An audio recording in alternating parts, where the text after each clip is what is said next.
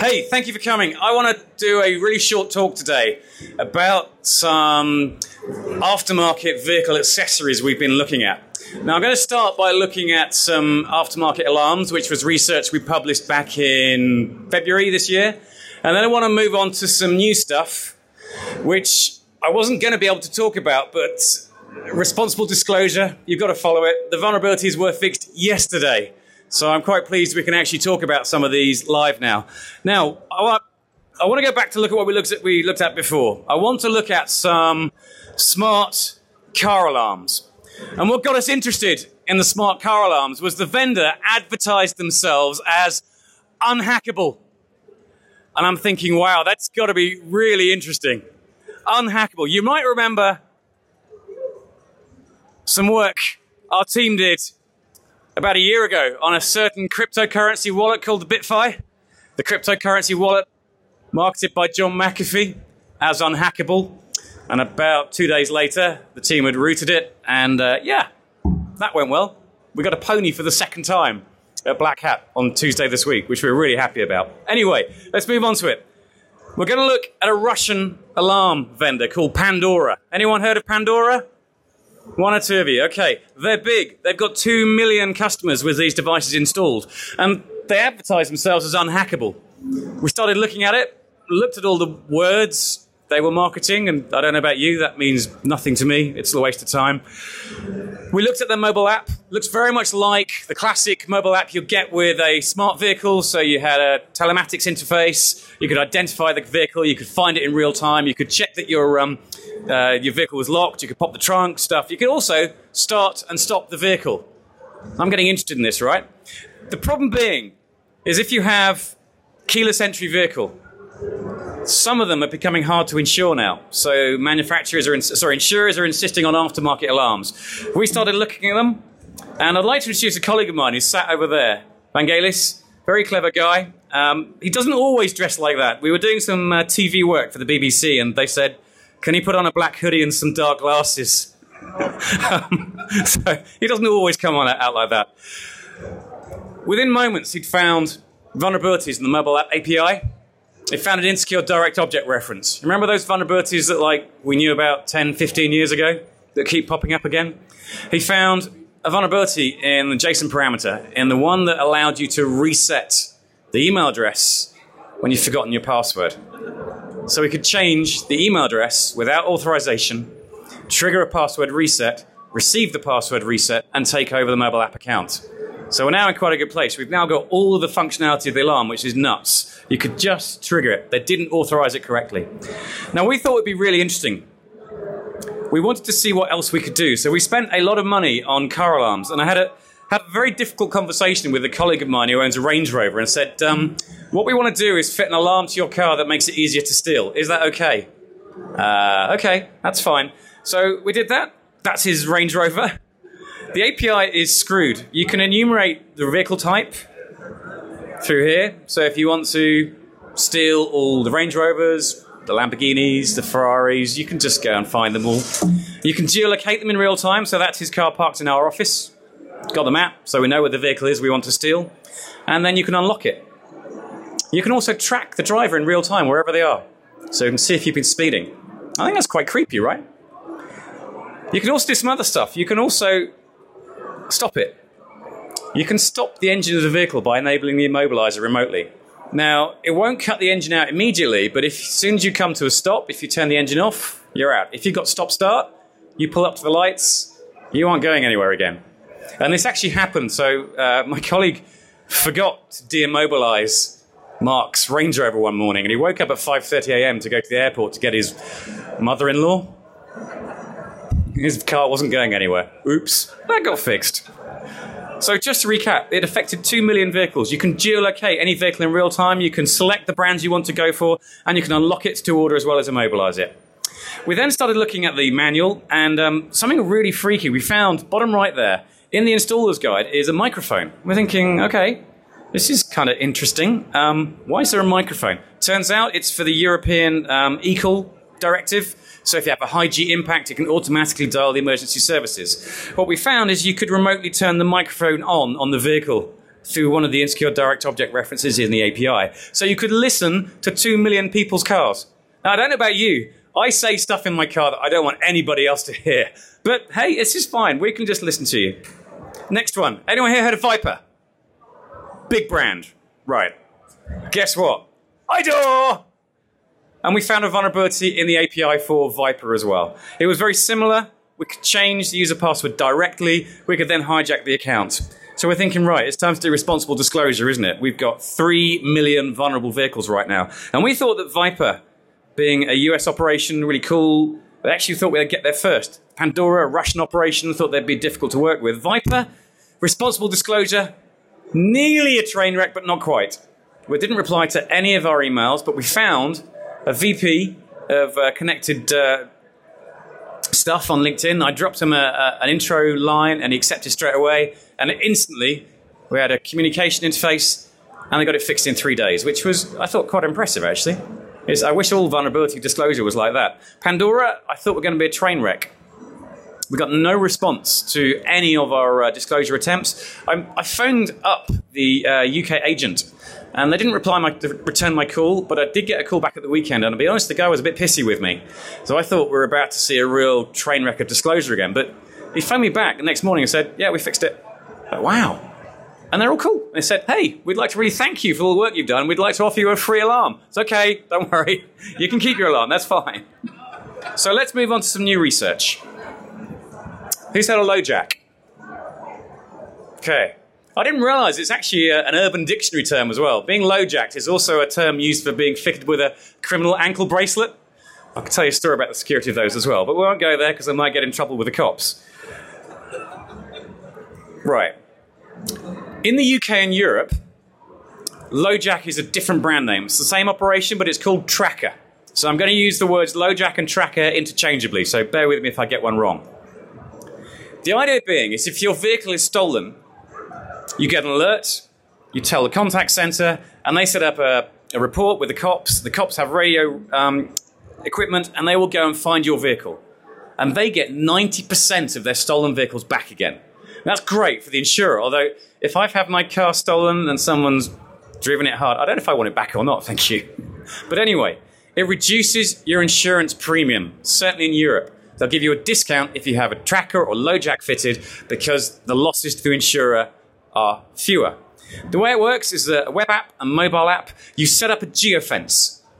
If the GPS on the vehicle, a little model, module that you fix, I've got one out there. If it senses it's gone outside the geofence, it alerts. You get an alert on your mobile app. You get an alert from the contact center. You get an automated call. And if you don't reply, it's fine. It's not been stolen. They'll inform the cops. But that's great because you get your car back. Guess what? We'll come to this.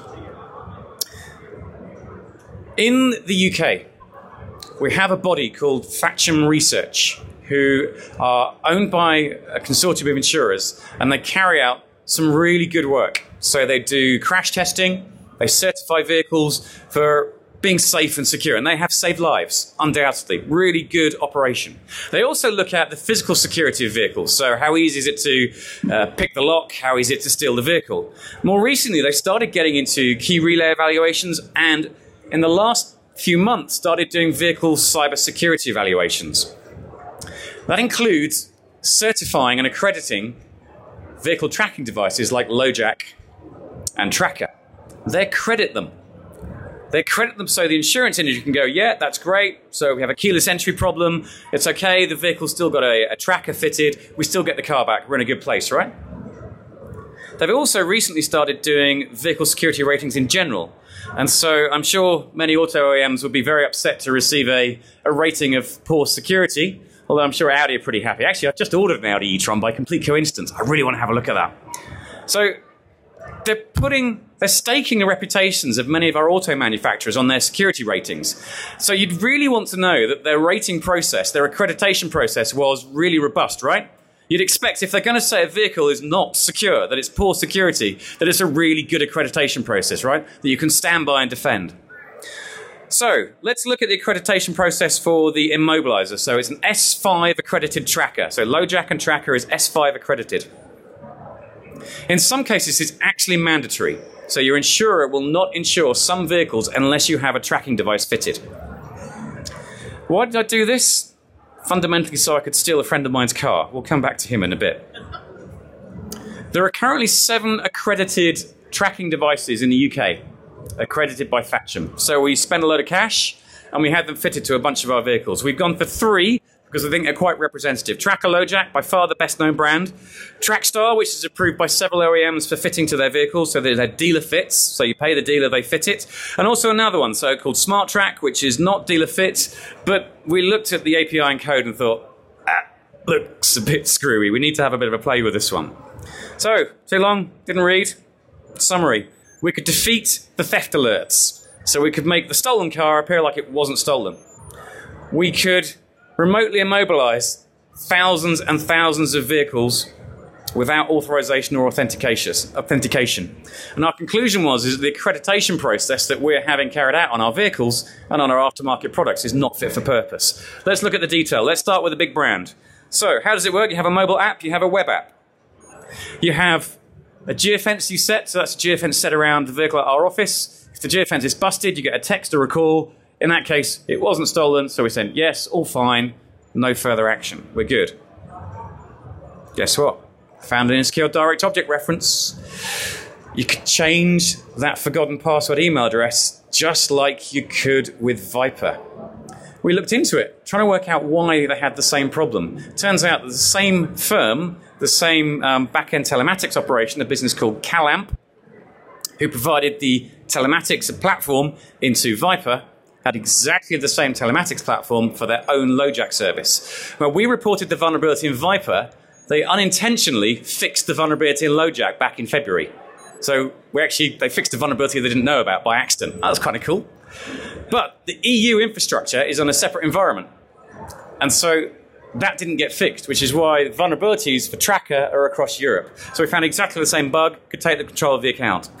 Except there were more. We found another one you could delete the theft alerts. So your thief comes along, got a little bit of savvy. Before they steal the car, they delete the theft alert. So your car, hey, it's just fine, right? And we could also directly and indirectly delete the geofences around the vehicle. So if you wanted to go and steal your high end vehicle, you go and compromise the mobile app API, you find the car in real time, you then delete the geofence, go and steal the vehicle, and off you go. Happy, hey? Great. You can just delete it. Let's look at Trackstar. That's uh, one of the, the next biggest brands approved by several OEMs fitting.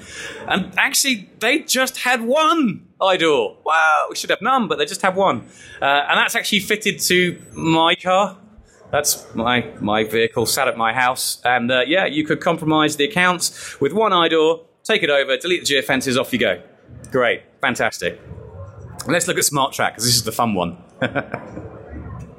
so, more IDORs, you could take control of the account in pretty much the same way as you could with the others. That's uh, one of our vehicles at our office there. Um, but then we discovered you didn't actually need insecure direct object references. Uh, we found a backup site that was published the internet and realized that it wasn't interpreting um, SQL requests correctly. They were going back completely unsanitized to the backend database. Now, we didn't do this, but apostrophe all one equals one we're pretty confident that would have worked. Oh, it's like 2003 all over again, right? Surely we forgot about this, right? No, we didn't exploit it.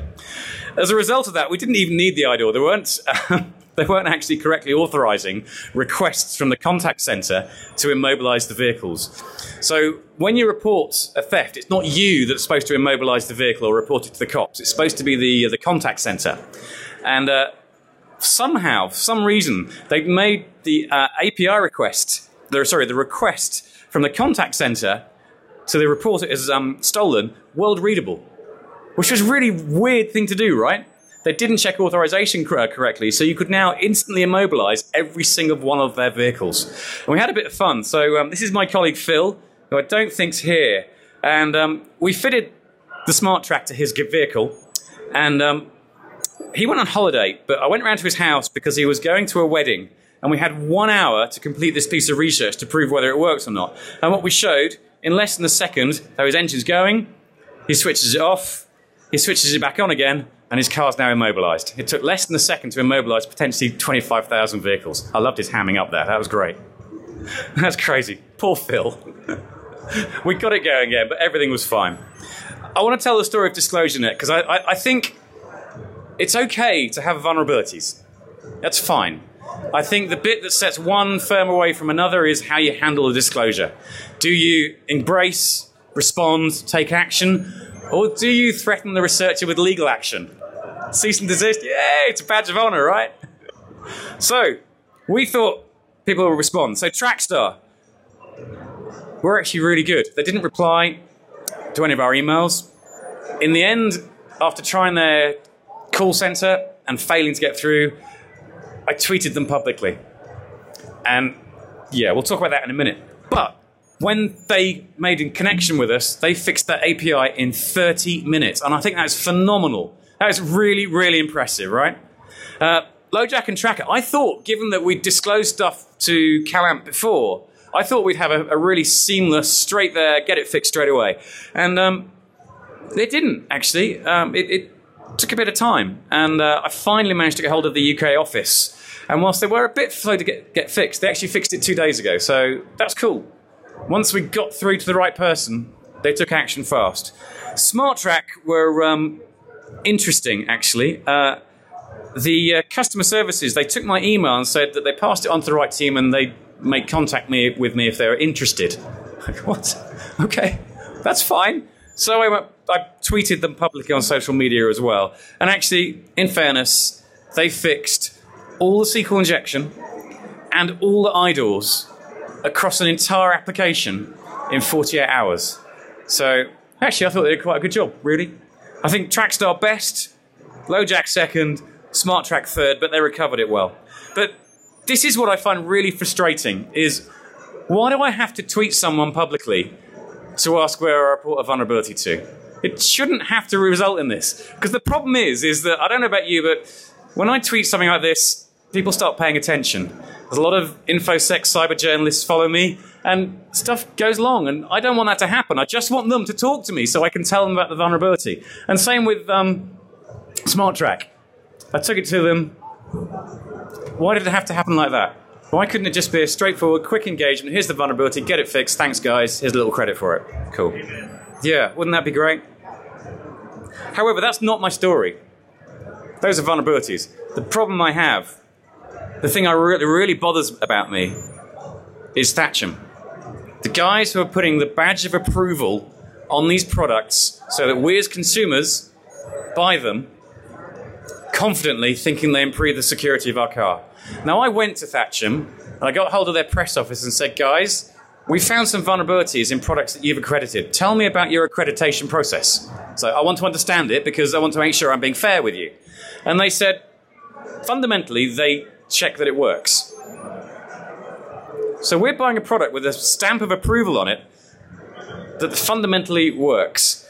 They also said they checked that physically it was secure it had to resist an attack for up to two minutes, a physical going for the wiring attack. And I, I don't think that's good enough. I really don't. Um, I then started digging deeper and I found their, um, their detail. And this I found really shocking is that they used to take six to eight weeks to accredit these devices, which suggests to me they were doing more, right? But they've cut their cost and they've cut their certification process to down to as little as one week. And I think that's unacceptable. I really do. Remember, this is an operation that's assessing the security of our vehicles. They've moved into assessing the cyber security of our vehicles as well. This really worries me. Who do we put faith in if the organizations we rely on to give us confidence aren't fit for purpose? That bothers me intensely. So that's kind of the end of my talk. There are some more things we're working on right now. We're also um, looking at the integration of the alarms and immobilizers directly onto the CAN. In order to immobilize that vehicle, it has CAN wiring. In order to speed the installation process for that alarm, it has CAN wiring so it can detect the CAN type it's working and customize itself so it can hit the right messages. Some of those vulnerabilities that I've showed you, we believe there is exploitation direct onto the CAN via the vulnerable APIs. And that bit is quite scary. So I think what we concluded from this talk was that we found a whole new way of injecting CAN data remotely over the public internet. So that's us. There's a whole load of um, research on there, tells you all about what we do, a lot of other car security um, testing and advice, but with a complete write up of everything I've shown you here. Thanks very much.